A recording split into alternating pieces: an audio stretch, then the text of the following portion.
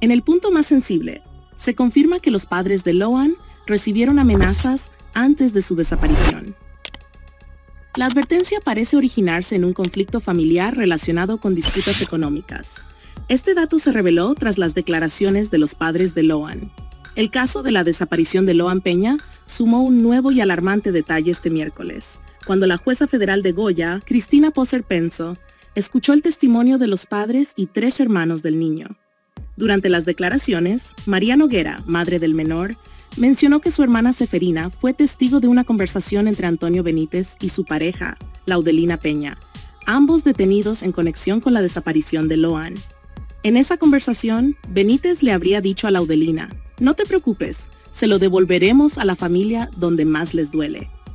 Esta afirmación, según lo narrado por Noguera, se interpretó como una amenaza vinculada al destino del pequeño Loan.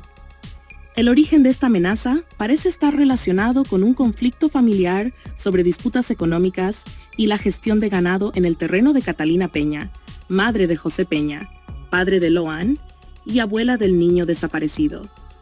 José Peña se había opuesto a la venta del terreno de su madre y al reparto anticipado del dinero entre los hermanos, argumentando que Catalina seguía con vida y no era el momento adecuado para hacerlo.